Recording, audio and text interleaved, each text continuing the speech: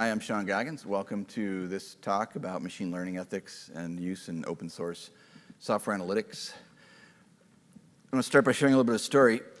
um, when I was 16 years old, my best friend's brother was kind of into cars, and he had restored a 1963 Corvette. And I asked him if I could drive it, and he said no. And that's because it's a very powerful machine, and I almost certainly would have wrapped it around a telephone pole because I would have tried to go really fast, and it was more machine than I could possibly handle. And I think when I think about machine learning as a computer scientist, it scares me like giving a 16 year old a 1963 Corvette. It is a very powerful set of tools, and it can be easily misused if you don't understand all of its parameters. So, with that little parable, but if anybody does want to give me one now, I promise I can handle it, or just take it for a drive, it won't be a problem. So, I find this graphic kind of useful for talking about machine learning in general. We have the machine on the left and the person on the right. And when we think about machine learning, sometimes our expectations are that we are going to experience something, that we can train the machine to do some thinking for us. And I think what we can do is we can train the machine to filter through a bunch of noise and tell us where to focus our attention. I don't think it can give us the same kinds of answers. In a person on the, the right, we have disciplines. These are things that we become good at, and we develop those disciplines through experience. Anytime there's a new problem, we apply our disciplines and our experience and speculate about how we might solve it in the future. This is the kind of mental activity we do when we're debugging, right? So the human brain does that very well. There's a similar cycle with machine learning, but it has some danger points. First of all, instead of a new problem, you're just giving it new data. And the historical data, the stuff from the past, is what it gets trained on. That historical data is limited by what's ever in it. So as new phenomena emerge, if you've trained a model on a set of phenomena or interactions that are not in the scope of the new data, it's not going to give you a very useful answer.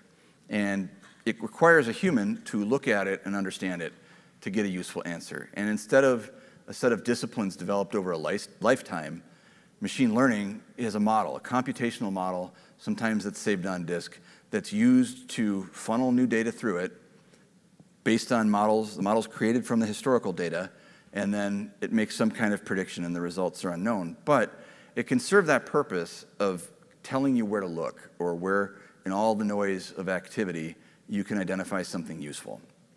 And I want you to just keep this distinction between how the human brain works and how machine learning works as we talk about the different kinds of biases and things that you can sort of codify. Because machine learning can also be really efficient at multiplying and amplifying biases that we have in the current way that we do things. So if you're trying to create change or reshift an organization, machine learning can actually get in the way by causing you to emphasize or amplify the things that you're trying to change. I want to step back now and talk about the data in open source software, open source health and sustainability software, and where the information comes that fits the, fills in the historical data that we're going to use to train models. So we have a tool called Augur and some community reports that we build based on mining both GitHub and the software repositories. And we can produce a lot of really interesting statistics about them. And we also have all of the conversations that take place around a project, which is where the machine learning algorithms that we apply come from. So there's a vast sea of data that we use as input. And we can take into account just about any factor that you could think of when it comes to open source software health and sustainability name a, name a piece of data stored about open source software, and it's probably an Augur, and it can be employed to can, you know, execute some kind of machine learning algorithm. So these are things like commits, change requests, issues, messages, dependencies, and contributors. And this is just a schema telling you a little bit more about it. Now, if I think in terms of uh the universe that I'm in, Sometimes I'm thinking about what's happening in a particular repository. What are the messages, the issues, the change requests for that repository? And if I build a machine learning algorithm using the data, the historical data from one repository, I'm going to get insights that are based on that training data from one repository. And that might be the scope of what I'm interested in, or it might not be. So in another example, if I have an ecosystem of 3,000 or 10,000 projects that are within the scope of my concern, I could gather the same data about all of those projects and train my models to identify anomalies within the projects, but also across the projects, so that I have a richer set of historical data that I'm using to train the models. This is important because, like we talked about in the little brain thing, your historical data is how you build the model that then the new data that comes through gets pushed through, and that's what gives you some anomaly or other insight that tells you you should look somewhere, basically. And so the broader your training data, that may be appropriate or not appropriate, but if, if it, it's probably more useful than just training on one project in some cases. So coming back to this, it's the historical data that's getting that's being used to train and you get to, you have to choose where you're going to get that pool of historical data. If it's from the projects within your scope is it from all of them or do you need to build different models for different subsets of your ecosystem? So i'll give you an example. Um, some open source projects are really chatty. There's a lot of comments there's a lot of interaction and everything gets discussed. In other projects there's pull requests brief reviews and things just go forward in those cases, there's less to train on. So how I identify the critical features on one project can be different than on another project. If I don't have a lot of conversation, I might be looking simply for the existence of any conversation as the signal of an anomaly. I don't even need machine learning to do that. And in, that, in the case of, of that category of project, I can get some kind of, hey, look at this because there's 10 comments on this issue, and there were zero, um, there's zero on average on every other issue as an example. And in other projects where people are very conversant, I can look at things like sentiment, valence of the conversation, um, what kinds of speech acts are existing in the comments and things like that.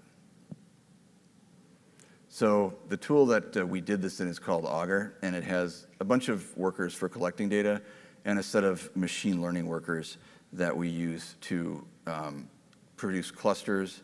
So the clusters are going to take a look at all the conversation in a project and group projects together if they have a similar level and type of conversation. So it's a computational linguistically based clustering algorithm. So this would be how I would determine which projects have similar levels of conversantness, conversation in the issues and pull requests.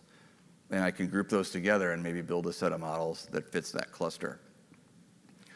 Discourse analysis provides uh, essentially there's seven key types of speech acts questions, answers, assertions, criticism, and, and a few others. And knowing the sequence of these different kinds of speech acts in, in a conversation or text can be helpful because then you can identify what is the pattern of, of sequence on a project and how does that, that sequence of speech act types look different from project to project. So it's another way of creating a set of features that you can use to classify, characterize, and um, make decisions about what kind of machine learning algorithms to use on your projects. The message insight worker um, does two things. It produces a list of, it produces a sentiment score based on um, software engineering specific sentiment analysis library, so it removes, it doesn't say things like bug or defect or negative words where in ordinary English speech it would be. Um, so it's sentiment analysis defined for software engineering. And it also does message novelty um, scoring. So how unique or novel is a particular message in the context of the other messages in that repository, which again can be useful for knowing that there's something unusual about a particular message and that you can be, it can be flagged for you. And a, the pull request analysis worker is a simple predictive worker that looks at the properties of a pull request and the interactions around it and tries to predict whether or not a pull request is likely to be merged. Um, um, so I can, this is another uh, piece for one repository, uh, signals of how welcoming a project is. It's not machine learning, but it gives you an idea that we can use the kinds of events that occur on a repository as another dimension or another factor in building machine learning algorithms uh, for that repo. And ultimately, the goal is, is to build some analysis of health patterns in a particular ecosystem. So what are the kinds of interactions or the, the sequence of interactions that are occurring in an ecosystem that you think is pretty healthy?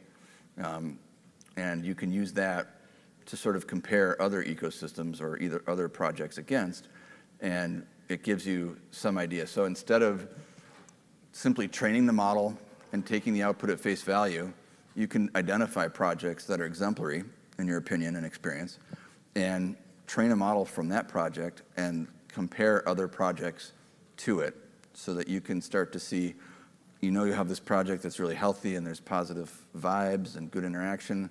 What all the other projects, how do they look in comparison? And it's one way of identifying in a large collection of projects which ones you might want to attend to in terms of advancing the level of communication or the quality of discourse or the kindness in, in the messaging. Um, characteristics, okay, so we talk about toxic messages, and toxic isn't the right word, but it's what I started with a long time ago with one of my collaborators who's sitting in the corner there, and I just continue to use the, hi Kelly. um, it's just what I continue to use as, as the word, but I think um, in, in discussing this with people, it's better to talk about, you know, what are the signs of healthy communication as opposed to the signs of unhealthy communication. So focus on the positive um, instead. But it's, uh, you know, so much more striking to be negative in discourse, as everybody who watches cable news these days knows. Um, so the characteristics of topic, toxic messages can be identified or characterized using things like sentiment, novelty, uh, level of activity, um, many times, if a pull request has a lot of activity around it, that's a signal that it has some kind of problem the community is unhappy about. Um, and you know, highly active, negatively valenced threads um, are other signals. Um, and this is how we pull things together. So when I have these valence messages, they're stored in Augur in a table called repo, which is where your repository list is, and message analysis summary. And the message analysis summary simply provides you with positive ratio, negative ratio, novelty. Um, it's a table. So the machine learning worker, the message insights worker runs over it and stores the results in this data in a table. And it'll do that continuously for each new message. And it'll retrain the underlying model every 30 days. So you'll end up with uh, analysis based on a model generated a month ago, two months ago, three months ago, and then analysis based on the most recent model. So this helps to account for the fact that I can't train a model on data that, if I have a new phenomena, I can't train a model to anticipate that new phenomena. So continuously deciding at a, some period in time where you're going to retrain your models, assuming there are new kinds of problems, new kinds of discourse that are emerging, it's important not to just take a model and run with it forever.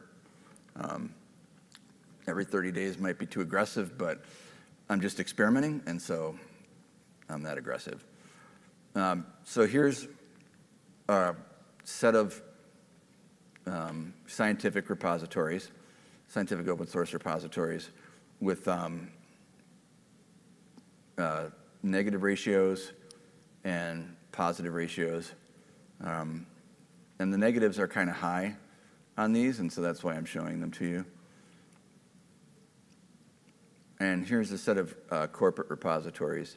So one thing that you can see, if I'm using, um, this is an algorithm, so it's not being trained, it's actually just identifying positive and negatively valenced messages. One thing that jumps out at you is in the scientific open source projects, the number or the volume of negatively valenced messages is significantly higher than it is in the corporate space. And anybody that's ever taken a computer science course might understand that you know sometimes there's much more freedom to speak freely in a computing research community, uh, or where which, which, is where most open source scientific software lies, than there is in a corporate community. Um, and so you do get you know visibly lower level of politeness, shall we call it, um, in open source scientific software. Not across the board, but the, the peaks of negative valence messages is higher. Um, and if I want to look at uh, issues, this is just how issues are structured. So I've got a repository with a bunch of issues pulled from GitHub and then messages associated with that issues. And I just present this to give you an idea where the data that we're building machine learning models against comes from. So here again are message threads with negative valence. And you can see that um, there's a message count there. So these are ones with negative valence prior to collect in prior collection, and these are the corporate ones. And there are just more in the open source scientific space. And one of the things we can do is if we identify a message that we suspect might not be the kind of message we want to see, we can actually identify the specific message on GitHub with the URL that GitHub provides, um, which is a piece of data stored in the issue table. It'll just tell us where the comments are. Um, and we can go look at it and see if it's actually quote unquote toxic. And in this case, it's actually not. But it got flagged by the system. And so instead of looking at 100,000 messages, you maybe get 30 that you might want to go take a look at. And then you can tell the machine learning algorithm if it's not toxic, um, you know, train that particular kind of message a little bit differently next time. Um, and these are the um, other kinds of data that I mentioned, the other kinds of analysis, the other kinds of machine learning. And here I've got a few slides on ethics of machine learning algorithms. So it's kind of the practice that we want to avoid. Um, but it's, it's the first thing you do. Like when you pick up a machine learning algorithm, you load a Python library that does some kind of uh, machine learning work. Um, you just stir the pile until it starts looking right. Well, that might be not exactly what you want to do. I would advocate that it is not what you want to do, but it is a common uh, first move in machine learning just to see how it works. And then with um, allusions and props to the Google person, a sentient toaster that is striking out against you. So, as I said before, machine learning can be, can be dangerous. And so this is the, the sort of the cautionary tale that I want to provide. And the examples that I showed you are derived from 3,500 corporatized open source projects um, and 2,300 open source scientific software projects that identified with the Chan Zuckerberg Institute. I talked earlier about clusters. Um, and so these are the different clusters of activity. So these clusters were generated looking at um, communication patterns on projects. So first of all, if a project is a certain color, that has similar communication history in terms of volume and nature of communication than the other projects that are in that cluster. And projects that are considered to have sort of an instability technically Um, happen to cluster in the red cluster, and projects that are more stable happen to cluster in the green cluster, and purple and blue are a little bit different. But the characteristics of the project help us to see, a, we see a relationship between the ways that people communicate and how reliable or stable a particular open source project might be. And this is just in one sample. This is, so I'm not making a general statement about all of open source. I'm just saying in the particular sample that I trained here, that's a phenomena that we identified. You can also just graph things like the basic sentiment. So you can look at um, positive and negative valencing of sentiment and see in scientific software you've got a lot of over to the right, more negative. And in corporatized, here's a visual. It just shows you that a lot of stuff is really in the middle and there's very little over to the right. It's also interesting to step out of machine learning a little bit and just look at um, how many people are contributing to a project. This can give you an idea of what kind of community you're dealing with. And sometimes if you're going to classify projects initially and you don't want to run the machine learning first, or you don't want to cluster them first, you can simply look at the number of contributors, and it's a good, useful heuristic for an initial grouping of projects and you know you can assert as a hypothesis that they are similar in some way. And the collaboration patterns, at least, are, are likely to be, they, they face similar collaboration tensions, at least, um, depending on the scale and the number of contributors. Yes? Um, on your y-axis, is this the number of contributors over like all time, a certain month? What yeah, what are the labels? I'm looking at all time. This is all time. Okay, No, I haven't windowed this particular data at all. and so then the numbers are of the repo, is the repo IDs? Ye- On the x-axis? Yes. Yes. Those are, so if you're not familiar with Augur, everything has a repo ID. Um, that's how I can make a presentation talking about valencing and things um, without always naming the projects, although I did in a few slides. So, bad me. Um, that's a basic introduction to the kinds of things that we apply machine learning to Um, in open source software health and sustainability metrics. And as you, as you go forward, I just want to bring you back to this slide because it's, it's hard to get your head around if you're new to machine learning and you haven't applied it to a particular domain before, what are the limits of what you're doing? And the limits of what you're doing in open source software health statistics and machine learning, looking at conversations in these projects, is the historical data is what's going to drive the content of the model. And as your scope may expand or change, it's important to keep in mind that whatever your models are that you're running your new data through, they're going to be filtered in some respects and amplify the properties of the historical data that you used. So if the historical data is relevant, then it can be helpful and you can get useful insights from the model. As the relevance of the historical data drifts from whatever's happening on a project currently, it becomes more difficult to rely on on that model. And so the predictions um, become less predictable and potentially less useful. So there's a, a human lens that you need to apply to what you're seeing to identify what's useful and what's not useful.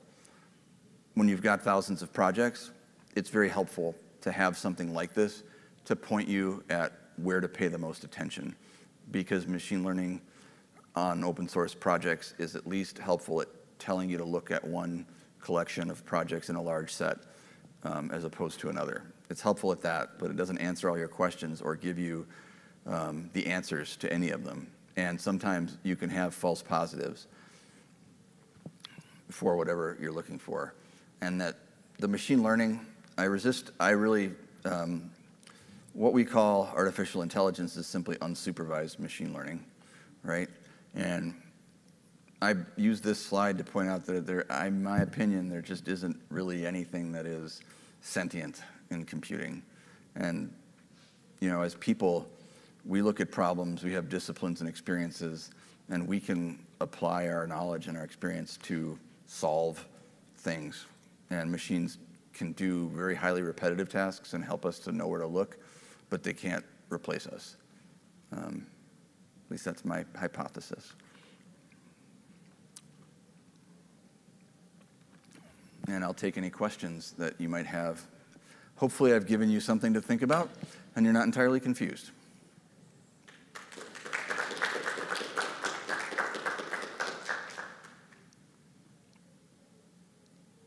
Any questions? Yes.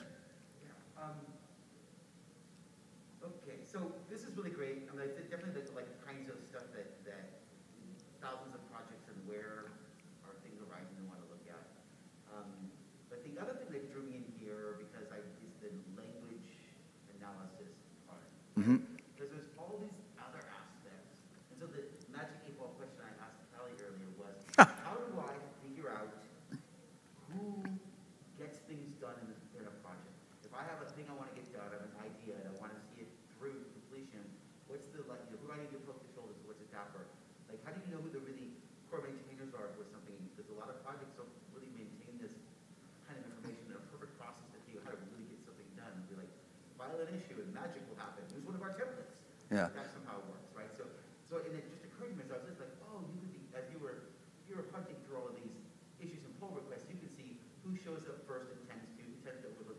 So it's not just, it's, there's this other side of it too. Is that a, something that can so, so there's, there's, I think, identifying the contributors who might be core but aren't labeled as such on a project's README, I think I wouldn't need machine learning to do that. I would look at who's making pull requests that get accepted, um, at a higher volume than other people. Like, who are your high volume pull request creators? I might also look at who has permissions to merge pull requests, right? Because that's an indirect signal of people who've been trusted by the main maintainer group to, to handle some of that activity. So if I'm looking for people who are already significant in a project, those are the things I would look at. I wouldn't even need a machine learning algorithm to do that. Um, where I think machine learning can be useful is if somebody's brand new, when you get a newcomer, and if, if, if, so this is not something I've looked for, but I can imagine that you would be able to, I think you could apply some of these approaches with machine learning to look for, okay, what are the patterns of communication and interaction that have been demonstrated by people who moved from their first contribution directly into, you know, slowly into some kind of uh, greater contribution role or even a maintainer role. You know, what are the what are the properties of those people who've been successful at doing that before? And they might, I'm, I suspect they're different for every project, but I think there are some things that we already know are the same. Uh, you're more likely to continue contributing to a project if your first pull request is accepted. Like, as simple as that. You're more likely to continue contributing if somebody responds to your pull request or your issue in a timely manner. So some of, some of the things we would want to use to identify new contributors who are likely, you know, we can do things to actually cultivate new contributors, you know, responding quickly, um, working with them to get a first pull request merged. That's, none of that's even data. It's, it's a practice that, and it's a, there's a, this small set of practices that we know work for drawing new contributors in. Yeah. Going off of your idea, I was starting to think a lot of like kind of the similar things, like let's look at new contributors, you could almost say, okay, who, who gets X done? Maybe we're like, okay, who is great with working with new contributors? Maybe that's something where you want to do some more sentiment analysis around, you can combine that with who's responding quickly, what is the response, what are the types of responses? And so it might not be able to go a general level question of like who gets um, gets things done, but looking at each of the type of things, okay, who is the type of, type to, um, get merger, co- like, getting reviews done, who's the type that works great with giving feedback or commenting on issues, like, kind of breaking it down a little bit more. Thank you. Is there anybody online? No, okay. Oh, okay, Uh, okay, fair enough, yeah. Uh, Question, thank you again, excellent presentation. Um, So uh, I- what- something that caught me by not really surprised is that Matplotlib was on there, and like every time. Yeah, I, I probably should have like ob- ob- obfuscated the names of the projects. Oh, no, but like, so interestingly, like, I don't think anybody's gonna stop using Matplotlib, but so in this case, like, are these, uh, like, decisions that you would make from this data, is it to identify bad actors or good actors, or Well-? So one, one thing that I would do with this is like, okay, I know that I have more negatively valenced message in open source, in a, in some subset of the open source scientific software. I have messaging that's significantly more negatively valenced than the most negative messages in a corporatized open source project. And as a human being who kind of operates across both worlds, I understand why that is. Scientists just have less energy for being polite, um, just trying to get things done, and often they're probably communicating with peers or graduate students with whom they already have an existing relationship. So it, it comes across in a machine learning algorithm as negative, but the context I wrap around it is these are also probably people that, for example, I, I know, and I might just be more direct with them. And we all hopefully know that when you're more direct, often you're less polite. Um, but if you have a relationship where you can be more direct, you can also, it's also more efficient. Um, and so I think scientists, people who create the open source scientific software operate and more in that headspace, perhaps. That'd be my hypothesis. Yeah. It's that straight spot where being, being more efficient becomes more, more respectful, so therefore it's almost the more likely to do to be quick and read and not let it move on, right? Yeah, yeah, um, and and there's a way to do that politely, but uh, PhDs aren't always good at that. It's like driving to Los Angeles, but to be sure to remind you what you're turning though. What? Well, I guess I don't know the Los Angeles. Just, just that, that that if, there's so much traffic going that if you, you're, if you're, if you move as quickly as possible, if you see a hole, go for it. Yeah, Don't go for that hole, you are, you're, that hole, all the. you're blocking the other traffic basically by not going for the The whole. right thing to do is to jump as quick as possible at every opportunity. And That doesn't sound like defensive driving, and uh, no, I know what, I know exactly what you're talking about. It's how I drive, and I, I just, It's a polite thing to do, because everyone's, you know, you're helping the whole traffic jam, it seems less, so. yeah, as, as I try to imagine how to do that with the 15-year-old twins um, in my house, I, you know, I don't model the best behavior, but I want them to learn how to drive defensively. Um, so maybe you don't want to give me your Corvette. I think it is. Um, that just reminded me of. Um, has anyone ever lived or driven in Minnesota? Every place I've ever lived has or worked extensively has different little driving weirdnesses or anomalies. In Minneapolis, St. Paul, it's you'll get in you'll get in a lane. It's two lanes that go straight, or you can turn left or right. And people don't turn on their left turn signal until the light turns green. And it happens to me all the time there. It never happens to me anywhere else. But every time I drive to Minneapolis, I, I encounter this behavior. So it's an anomaly of that local culture. Like, however that developed, it would be fun to study, to your point. So I know from my experience that when I go there, that happens. Um, in Buffalo, New York, people go through red lights all the time. And it's because they have red lights where there's no traffic. So Buffalo used to be more of a going concern um, than it is today, and they still have all the stoplights from 30 years ago when Buffalo had industry. And uh, so people just drive through the red lights all the time. Yeah. I'm just thinking in terms of driving in different cities and sort of applying that back to, uh, uh, looking at different communities.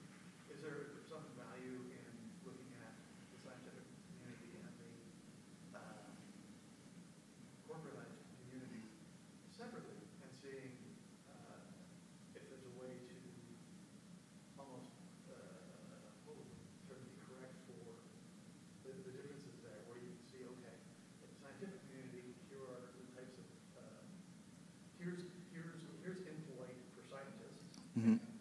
or un- unhealthy communication for scientists. And in corporatized communities, what would be, uh, uh, impolite or, or, or toxic for hmm corporatized? That way, potentially, we're able to sort of see the different communication styles in these sort of, uh, silos rather than sort of comparing them to each other. Mhm. To see if there's a way of, um, for each community, see if we can improve the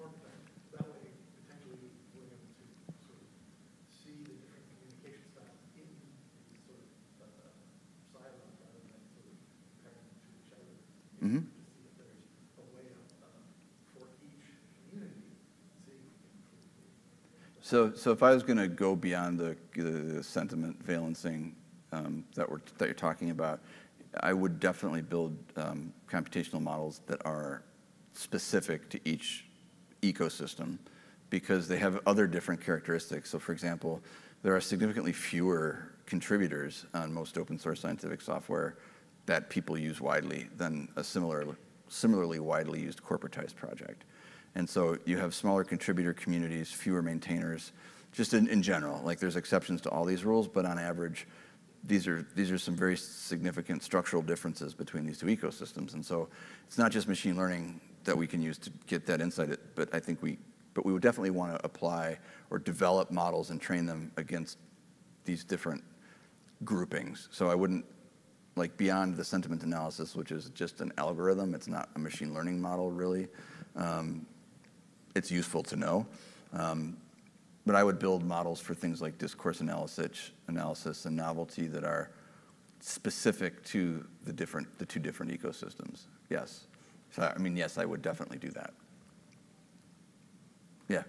maybe a follow-on, even within these types of communities, is there a difference between, let's say, because you're generally speaking, there are smaller projects The, the number of contributors is lower. Um, uh, but I'm just, I'm just thinking in my work, um, I, I, I, I, help support projects that have ten contributors Mhm. and ten thousand. Um, and I'm curious, I would like them all to be uh, healthier. Um, and I'm wondering if there's like a difference in